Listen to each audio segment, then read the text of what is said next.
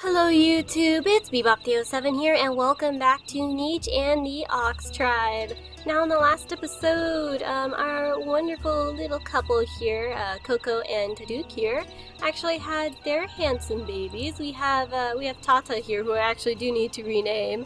Um, and we have Pearl over here. Both of them are very healthy. I think Tata has a couple of recessive issues, but overall he's much healthier than what we've been dealing with for the most part.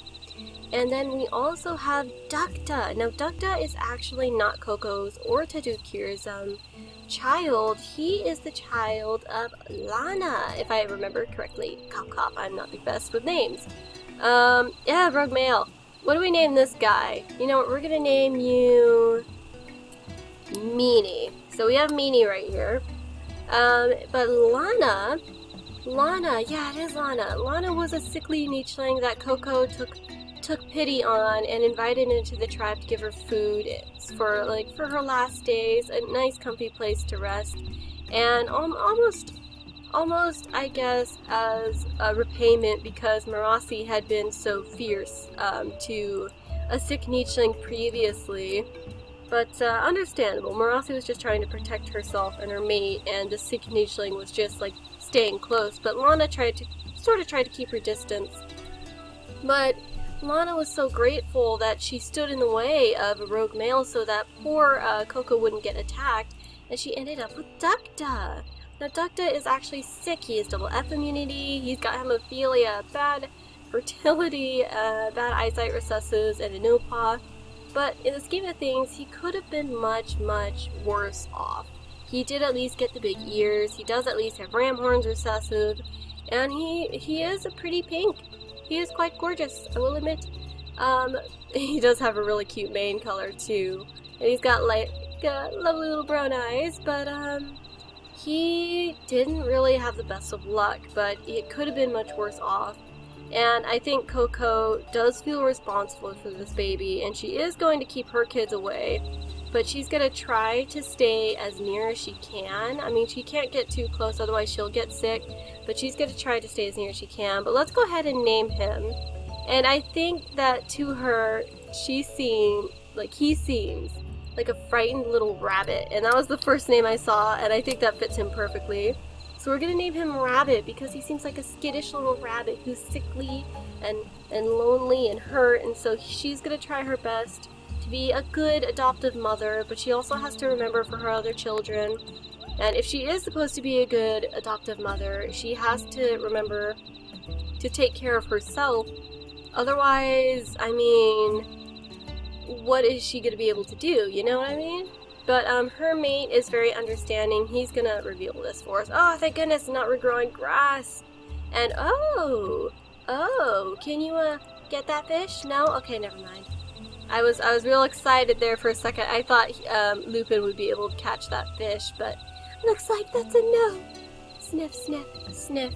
But um, we actually do need to look around for some more fish, and I do want to be careful over here because um, Snowtail might be dealing with leeches again, but let's go ahead and... Oh! Uh, no! Stop running! Okay, wait a second.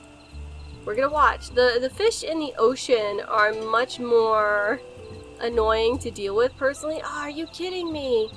Um, go ahead and swipe that up so that it increases your your time, hopefully, to be able to breathe underwater, Snowtail. But um, I have been forgetting to show you guys the genetics, so I just want to apologize for that really quickly. I hadn't been paying attention. Oh, I should have had him get, uh, grab that food. I hadn't been paying attention, so I've been forgetting, but um, some of you have been very good about still pointing out pairings to me, so thank you. And Trinket pointed out that Frost Furl, uh, Furl, Frost Fur and Pearl would actually be very good mates. But oh, that reminds me, in the last episode, Rocky Road has, uh, he started to show his potential as a really strong and really powerful mystic. I'm very excited to see what he'll do. Um, I mean, he's he's powerful, you guys. He is really powerful. But um, Lunaria has been doing her best during her last days of life to teach him and to educate him about being a mystic, to tell him what to look for, to help him out, and just to really, you know, just really help him learn and grow as a mystic. And Marasi is overjoyed with her little boy. She is beaming, despite the fact that he is not a good hunter, not a good gatherer, and uh, this was brought up by. Uh, why do I keep forgetting your name? Um, I know you're a YouTube user, but you had a specific. I think it was Miki. Um, I think your your nickname was Miki that you wanted me to call you. But Miki suggested that Marasi had a mother's love, and that despite her son not being very skilled in most areas, she is still extremely proud of her son, and I think that's true.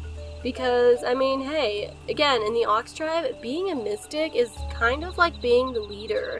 So in her eyes, her son Rocky Road is beyond lucky. And Lupin, just hearing of how awesomely powerful his son is, is really proud too. And I think he does want to make sure that his son gets a lot of food and there's fishies! Fishy fishies! Okay, awesome, awesome, awesome. Okay, Pearl, can you get over there actually? Oh no. No, you can't. Okay. Okay, so we're, we're gonna we're gonna scoot Pearl a little bit over this way. Okay, she can kind of get over here. There's lots of fish over here, so we'll have these guys. Uh, she'll meet her her granddad, and they'll hang out and get to know each other. And I think he's very happy to see that she kind of looks like him and he's very impressed by her uh, shiny, pearly white ram horns, and I think they're going to work together to get food, but we got a dead clown koi over here, which will be a lot of food. But um, Coco is going to try to clear out the territory around her, and luckily this area has more, um, has less regrowing grass, so that's a nice, nice thing. But um, her brother is over here as well. Let's see he's trying to clear out some territory bits, just a little bit. I think we'll let him clear this out as well. Of course it's regrowing grass. But Ronu's kind of looking for fish as well, and he might go out this way, try and find some fish. But, um, yeah, you know, I, I do think, though, I mean, I'm kind of looking at, I'm looking at little Tata here, and let's actually give him, oh, Spark! What a good name for you! Spark. Okay, we're gonna name you Spark. Hello, Spark! But um, I'm kind of looking at him, and what I'm seeing, I see a very feisty spirit.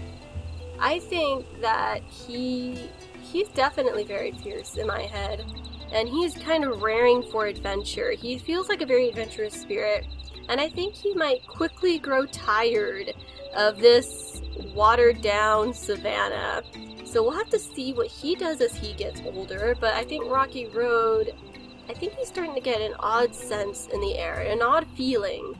But uh, we'll, we'll explore that a little more. Let's see, is there anyone else besides Spark? Okay. So we're going to go ahead, we're going to pass the turn, and let's keep an eye on poor little rabbit over here, because I am worried about him. I really hope he does. I don't know if there are birds on this island, but if there are, I am very worried about him. Oh, baby, no.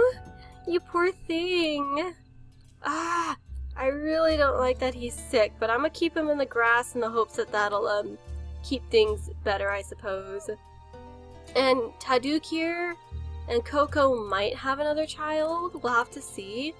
But uh, it really depends. But I think now that Rocky Road's older, um, oh my gosh, yes, get the food, get the food. We'll, we'll look at Rocky Road in a second. Get the food, get the food, get the food. Okay, I want you to collect up the fish and actually fish and show your daughter your daughter the ropes. Oh no, she only had one turn because she I don't think she has the big ears. Oh, she could have grabbed up a clown koi. I forgot that she had fishing tail. Oh my goodness, I feel so ridiculous. Okay, okay. But I think um, Lupin's having the time of his life right now, showing his granddaughter how to fish, and she's going to try to swipe some up in the next turn. But oh my gosh, Johnny, jump up! You died. What the heck? No, not my precious baby. No. Aww. I'm sad. And the whoa ho ho ho. Whoa. Who do you remind me of? Oh my gosh, I can't remember your name, but you were like the first. No, not the first. You were the. You were, I think you were Siri's mate or Sirala's mate. Actually, I think it was Siri. Weren't you? Kirkirku and you're sick, but you have a new immunity. Okay, so I think that Marasi is going to really quickly invite this guy, but then she's gonna she's gonna kind of send him to sit aside. And he does have a new immunity, which it wouldn't be bad to have a couple of babies with him.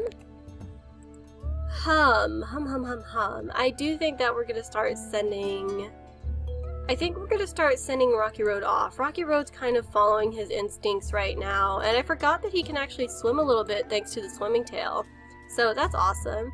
But I think he's going to kind of go off a little bit, hang out with his um, older brother Ronu, and Marasi's kind of left alone with this Nicheling.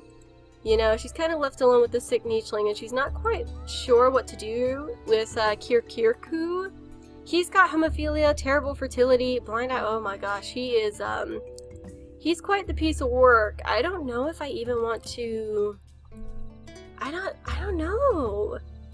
I mean, uh, I'm not sure what to do with him. He would be an interesting person to pair off with someone though.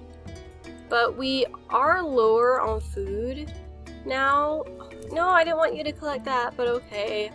And let's not forget to move this guy down here. I think Snowtail, um, I think he is starting to get really aggravated by these fish.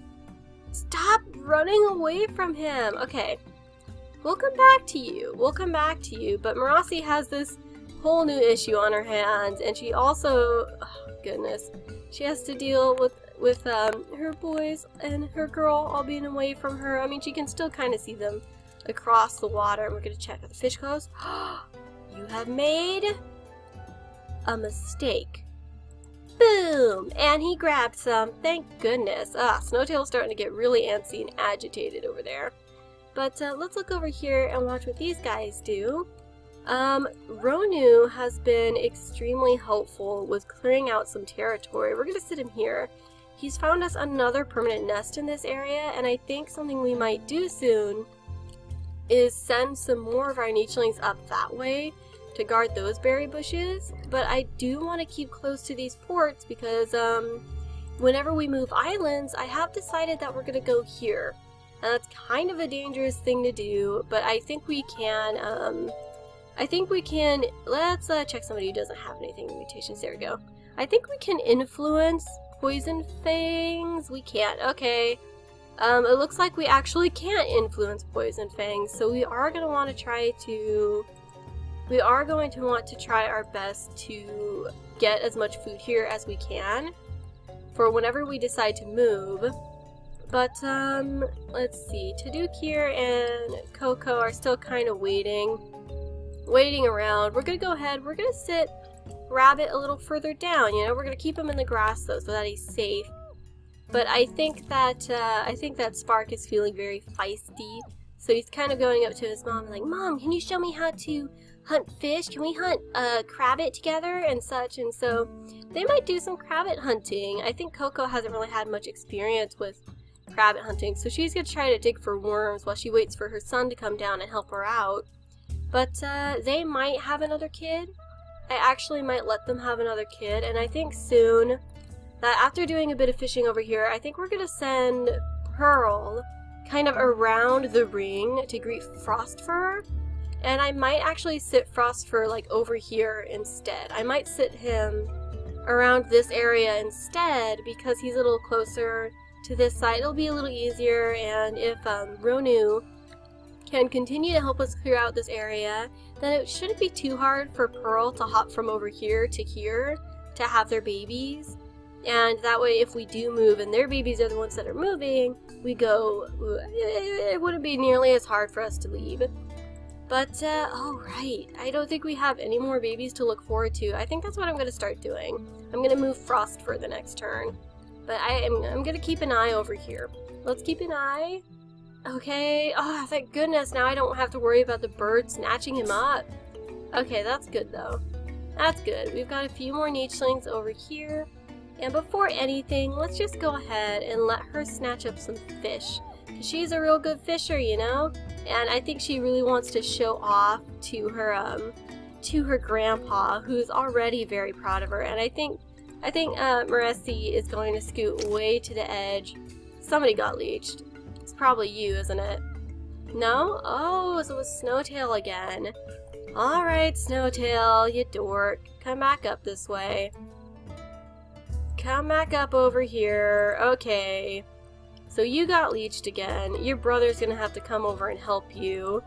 Um, I'm gonna let him grab from this. He actually has to go around. So we're gonna go ahead, start heading him around anyway, because he needs to go that way.